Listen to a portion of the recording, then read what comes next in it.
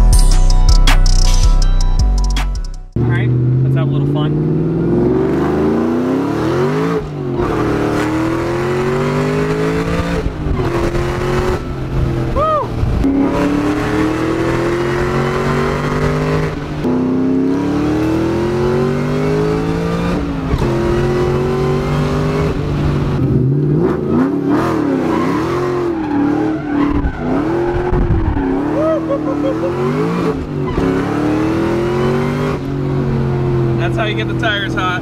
They're hot now. Yes!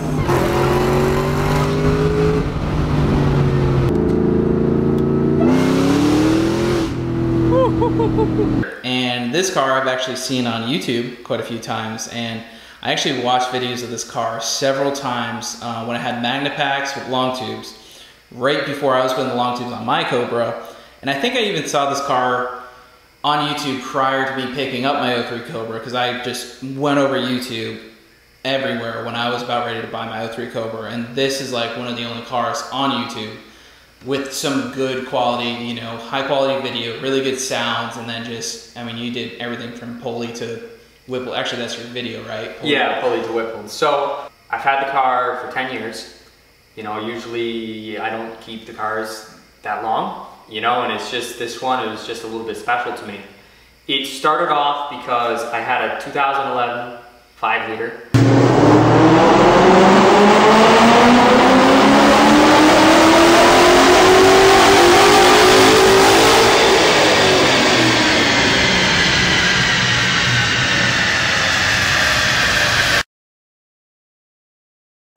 Uh, bad memories just thinking about that thing. I had intake, you know, intake, tune, exhaust. It made uh, about 425 to the tire.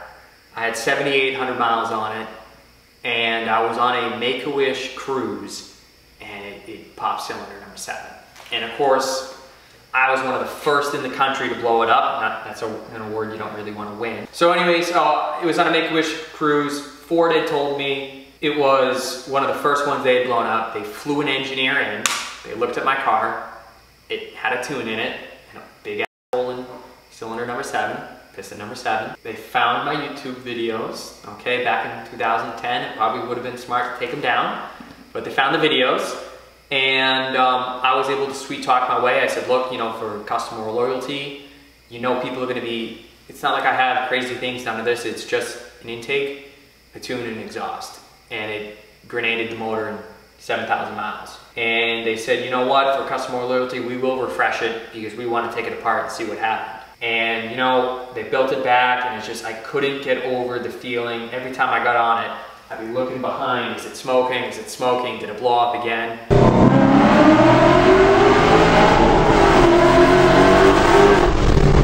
And at the time I was watching YouTube and there was just something special about the 03 Cobras and it had to be a Sonic Blue one.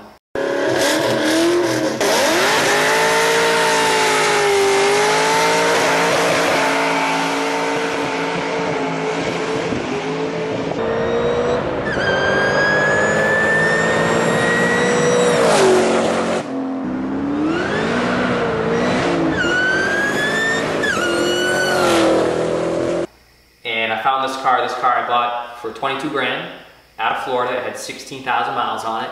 I had it trucked up. I think it was on like some FR 500 wheels. It had a stock blower, unported, and I took it to the dyno the second day of ownership, and it made 438.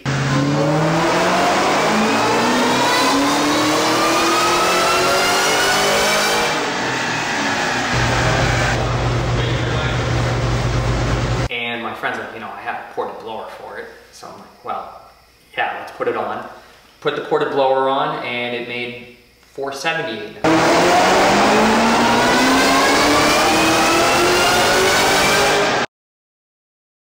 car was a lot of fun. That was back in 2011. I ported it the first year.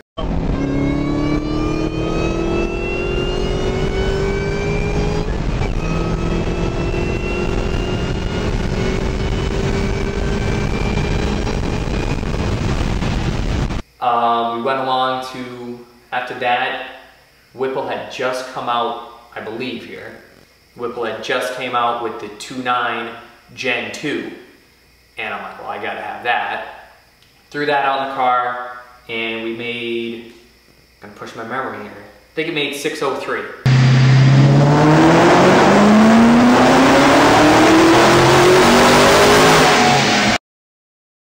And then if I ran Torco, it made like 665 and I Torco the, the hell out of the car. I had it like that for probably four or five years. I just enjoy driving the car. You know, it's not always about racing every single night. You know, I've taken it to the dragway a few times. You know, it's still IRS in the back. It's not on bias plies. It's not on drag radials. It's just a fun car to go out cruising and having fun. And if I backtrack a little bit, the reason I got a Cobra was, it was like, I think it was called Snake Bite, the Snake Bite video. Mm-hmm. And it was just, and then he had, forget the other guy's name, maybe you can help me out here. His name was, um, he had a Sonic Blue one with a Kenne Bell, and he had a very popular YouTube channel. And Yeah. I'm forgetting the guy's name. I know what you're talking about. I'm, I'm sure someone will comment it here. Somebody remember it, and I remember he did so much damn racing.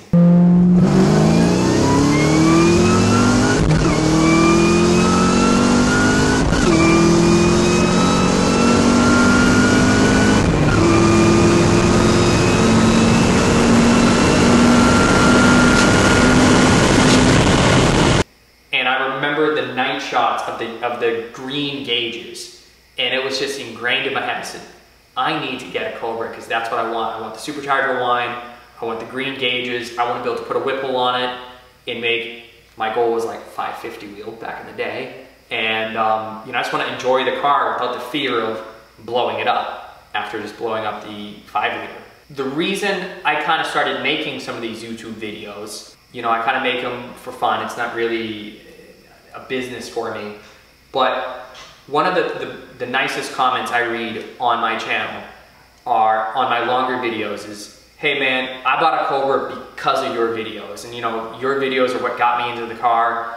And you know, I, I appreciate stuff like that. And I like helping people out and you know, giving them an idea of what the car is like to own. It's, I tried to explain this to you earlier, it's not a good car. These aren't great cars. They're gonna rattle, they're gonna shake, the interior we won't even talk about. You already know it's it's from like a 1998 Econoline van.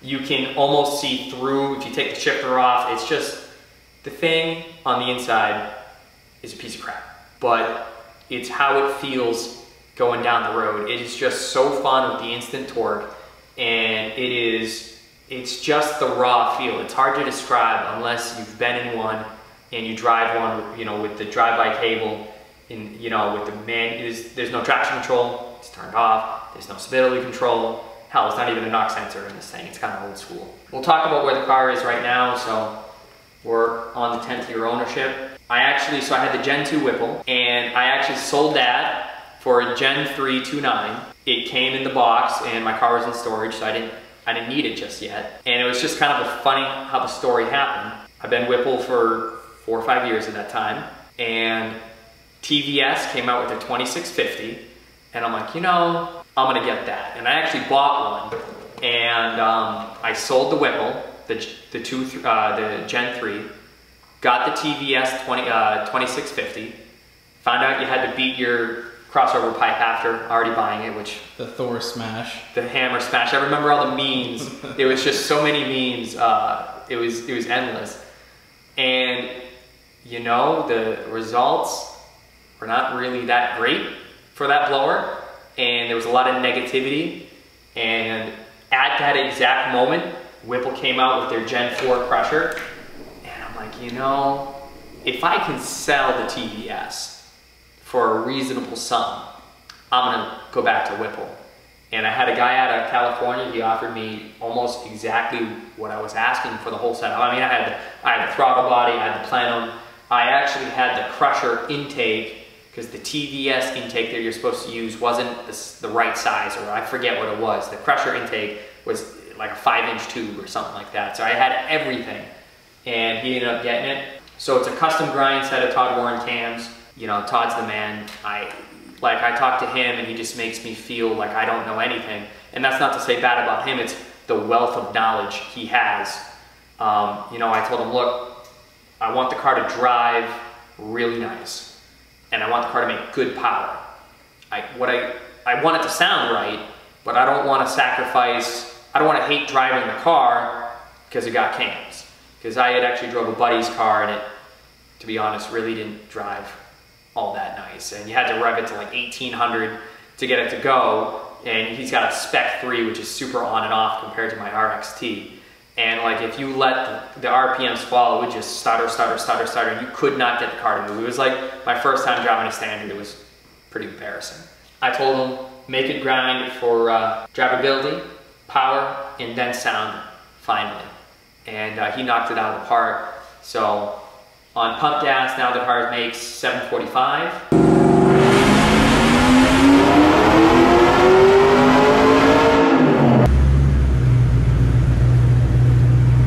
On 18 pounds.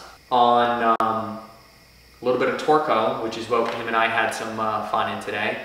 It makes just about 800 to the tire.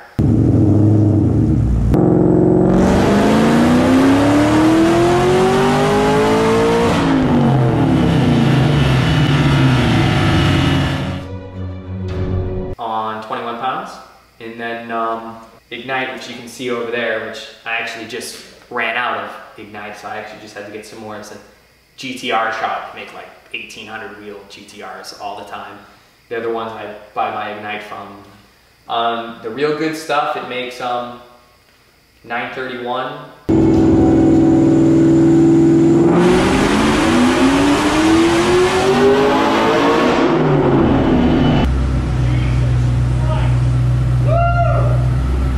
and I forget the torque, I think like 810 or something, but we can put a link to the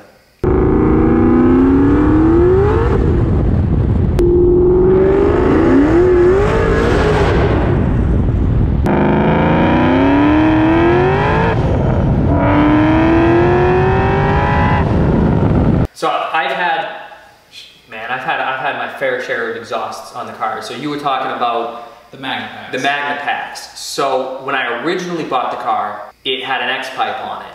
And you know, it was the Magna Flows with an X pipe. And it sounded good. It Wasn't my favorite sound, but it sounded good. And I had just put the Whipple on and I put in a catted X pipe. I actually bought some, I think they were called Random Technology Race Cats. They're pretty expensive. They're a metal substrate. They're supposed to be for really high horsepower cars. And I was actively filming an exhaust video back in 2012, I think it was.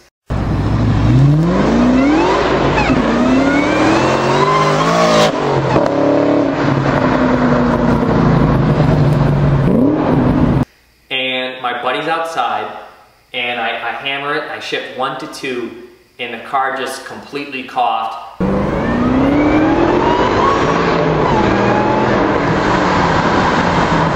Immediate check engine light, a bunch of black smoke out the back, and I'm like, great.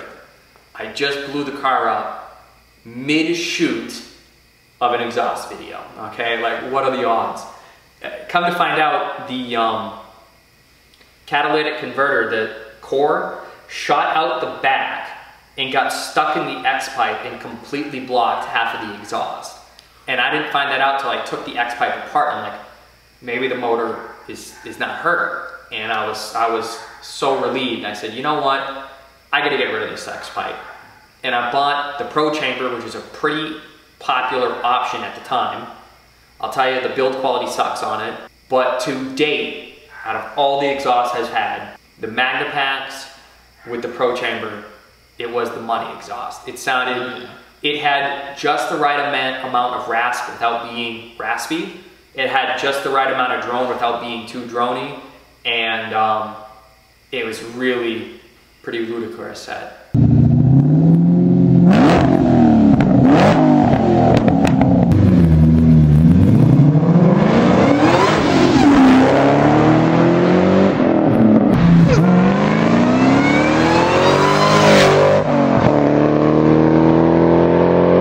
wide open throttle. Had it was it was the perfect exhaust, all because of the magnet, all because of the pro chamber. I feel because it just gives it such a unique sound. But the downside to the pro chamber, like I already said, the build quality is not that great. But I had a really hard time fitting mine high enough. So like Yeah, when you would look when you would look underneath the car, and you can see this in my photography back in 2012, 2013, you see the box underneath the car in every shot. And it's not saying you have to be like down here. You can, it was at least an inch and a half lower than any other part of the vehicle. And I scraped that thing every day. I mean, my car is low. It's, it's at the same height now that it was back then. It's on Eibach Pros. But you could not go anywhere without scraping the middle section of your exhaust. And I actually, I think I almost scraped clean through it. You know, that gets old. So currently the car's on, and, you know, I'm sure we'll link in some, some other videos. Right now it's, it's on a Bassani three inch. So it's got a ARH uh, long tubes, inch and three quarters. Some might say, well, why didn't you go inch and seven eighths? You know, it's on a higher power car and you make a good point. But it was pretty easy. I asked Todd, he, he ground the cams. And it was as simple as, hey, what do you want for the car? And he told me he wanted the inch and three quarters, and I'm not going to argue with the, the mastermind. He said, do it. It was pretty simple. So it's inch and three quarter NA ARH long tubes. It actually now has an H pipe from ARH, which you'll see there's not many H pipes in the Cobra community, but I kind of wanted to get away from the raspiness of the X.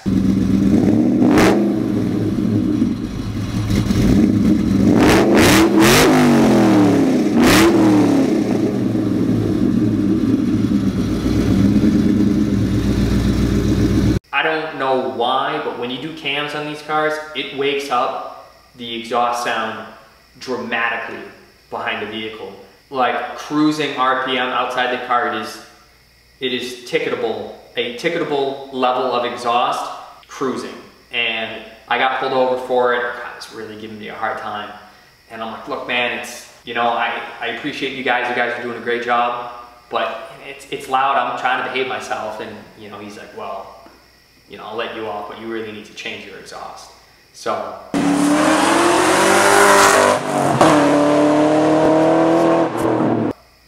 Did go to the H, and I went to the, the Bassani. It actually has real mufflers on it now. It's, if you've seen Magnapacks, it's really a Straight through with some com- jagged, sharp. yeah, it's a complete inside. straight through exhaust. Yeah. So it sounds great. It was definitely loud, but with the with the Magna with the Pro Chamber, it really was the perfect exhaust. Yeah.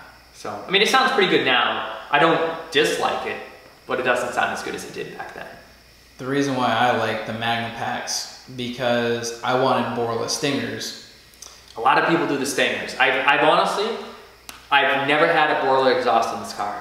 And So the Magna packs sound very similar, and when I bought my O3 Cobra, I literally spent like all my money. I was pretty broke after that for a little bit, so I couldn't afford the Borla. So I was like, well, Magna packs are like what 60 bucks each. Yeah, you, you get them on Amazon, 60, 70 bucks each.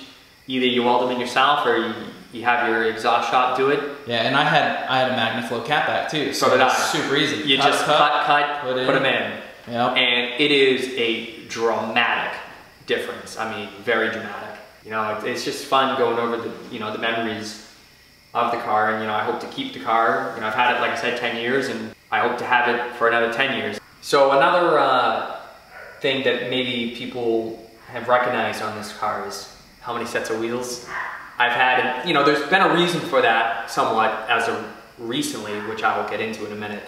But I've had almost everything on this car. The CCW classics are the Cobra classic. The Cobra Classic is the CCW Classic. So I originally had some FR500s on the car. They were the black with polished lip.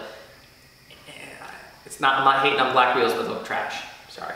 Um, Those those are carbon fiber. They get those are carbon fiber. They have an excuse. Fake Chinese wheels that are black, to me, look trash. Especially on a, I mean, on a black car, it makes more sense. On a blue car, I really think you need a wheel that, that pops. So I was able to do a trade. I, I traded for a set of Saleen replicas, and I really liked it. And, you know, I had those for a few years. They were a popular wheel. It looked good. You know, they were heavy. They're like 34 pounds, you know, but it was it was a fun wheel. My buddy messaged me. This was back when we still used Craigslist. Not that you use that anymore. He goes, "Listen, man." He goes, "I found a set of true CCW classics for your Cobra, and they're eight hundred dollars. And if you know you're in the wheel industry a little bit, CCWs do not sell for eight hundred dollars. Nope.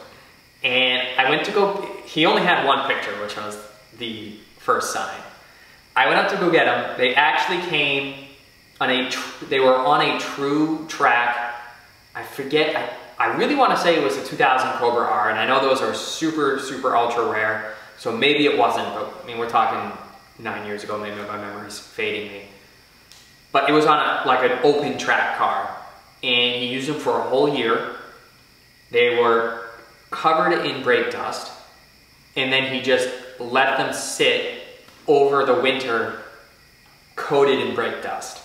So in the spring, he took these wheels out and they were legit orange. They had started to oxidize all the uh, metal in the brake dust had oxidized and it was just, these wheels were rough. And uh, I was able to bring them back to life. Powder coated the barrels. I had to repolish the faces. And, um, you know, I maybe put $400 into them with, you know, a lot of ibuprofen for the shoulder, for the hand polishing. But um, they look really great. Back in the day, the only comment I used to get is, "Where's your? Where's your uh, center caps, man? Where's your center caps?"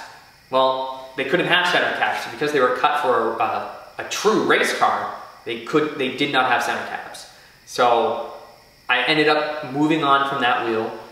I went to the man. I went to the True Forged. I bought a set of True Forged uh, Mach fives, and they were polished. And I actually had them um, clear powder coated over the polish, which I was super nervous about doing. But if you've owned classics, you understand. If you get caught in the rain and your car sits, you're you are at least 45 minutes per wheel hand polishing to get it to look nice again. I mean, it was an insane amount of upkeep with the wheel. So I'm like, you know, I want to get a powder coated wheel. So I, I went with the Mach 5s. It was a great wheel.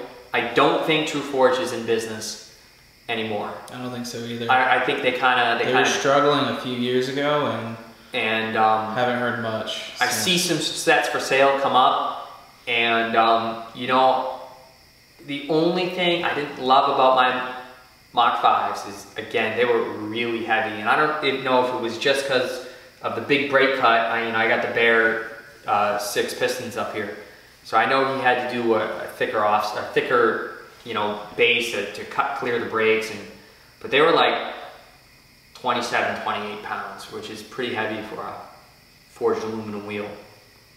So at that time, I ended up meeting a really good guy. He's literally become one of my best friends. He's gonna be in my wedding. Uh, he's one of my groomsmen. Um, he owns his own wheel company, and you know he we just quickly became really good friends. I've been at the cruise to the Bahamas with this guy. He's just a really nice man, and um, you know I've started to help kind of bring custom forged wheels to the Cobra community with the connection of him. And it's not like I'm the only guy, it's, I'm not trying to say that. It's just, you know, I've had so many sets of wheels. I've had welds, which I didn't talk about. I had, um, I had AFS replicas, which is a really hot wheel, Yep. which my AFSs looked great for about like four weeks. And then literally the chrome started peeling off in sheets. It was just like you could literally just take the chrome and you would peel off like a piece like this big. And uh, it just went downhill pretty quick. Um, This is my newest set of wheels. This is actually BC Forged. Um, they were a, they're not a new company, but kind of in the Cobra community, they don't really, there's not really a market for The. Ford Mustang, they they have been trying to enter into really just the Ford market. Um, Because they're huge on a lot of uh, Audis. They're huge on, um, they're really big on like the Camaros. They're, they're kind of big on the S550, so kind of yours a little bit more. mhm. um, you know, the 19, 20 inch sizes. But for 18s, there's really not many offhand. I think before I bought mine, there's maybe three or four guys running BC Forged. But, you know, there really are some good benefits to running BCs versus CCWs, cost-wise at least. And they're the same quality wheel. And uh, these are the TD03s. Uh, you know, I do get some crap. They say they look like factory wheels, which is, I'll just be honest, that's why I got them. I think the classic five spoke with a little bit of dish in the back and a little bit in the front is kind of the best look for these cars. Yeah. And uh, I went with the brush clear gloss because again, after owning polished wheels twice, I, I think I'm uh, I'm done with polished wheels. So brush clears for me the way to go. Yeah. Interesting fact: some of the guys over at BC um, Forged, they came over from CCW because CCW pretty much flopped. Yeah, and then they got bought out by Weld. when they got bought out by Weld, things started working again, but they they basically jumped ship and went over to BC Forge. So the same guys who made all the awesome stuff at CCW started making at BC Forged. You know, the probably it is overwhelming. So this is just a monoblock, so there's really not too much. With BC Forge, you can decide how how much concavity you want in the wheel. Um, you know, um, this is a one-piece wheel, so you, you don't have hardware. It's not a multi-piece wheel. But um, you know, we did a blend between the amount of lip and the amount of concavity. So we did like a 50-50 blend. But BC Forged modular series, there are so many different designs. It is like nauseating at first when you look at how many designs. I mean, you could go from anywhere from safe and simple to way out of the box. Um, there's so many different finishes, and the best part is the price you see is the price you pay. Like they don't nickel and dime you like CCW does. And you know the, the funniest thing, the one car I almost sold it for is literally exactly this one, but in the lightning blue, not the velocity blue. The velocity blue is not my favorite, but the lightning blue with the white stripes with the Whipple on it. I almost pulled the trigger on selling this one. Some guy wanted to offer me 38 grand, which is probably 5,000 more than it's really worth, and ended up kind of being like this weird whole story. And I think the kid was serious in buying it, and then once his parents found out, they're like, yeah, you're dumb, you're not buying that car. And the deal fell through. And honestly, I'm glad I kept it because it is just, it's a timeless design. I think uh, The value's going up. the value is going up unless you listen to the Cobras, you know, yelling at you if you ask for too much money on your car. Just, I need to buy another one soon before it goes up even more. well, you know, you think about it. This is what I think about. I think, and the Cobra is going to attack me here because I don't have the figures memorized. So the blue was only 03, and I think they made for Cougs like a 1,040 of them back in 03. And those are rough numbers. Hopefully they're pretty accurate. And how many are actually left, say, under 70,000 miles that don't look like they belong in a trailer park? Is it 200? Is and not 300? I mean, there are so many. so many that have been wrecked and, and parted not and parted out. You know, is it is it one of 100? No, probably not. Is it one of 500? Maybe. Is it one of 800? Maybe. So I mean, I kind of like not just having because because it's rare. I mean, it's it's something you drive this car, it gets attention. Yeah. You know, everybody's looking at you, and you know, it's just it's a fun car. Honestly, it's just a fun car. You, you take out the wife, you go uh, take out to the ice cream stand, you get yourself some of your favorite ice cream. You're coming back and you get a rich guy in his, you know, CLS AMG, and you just, you know, just give him the sauce.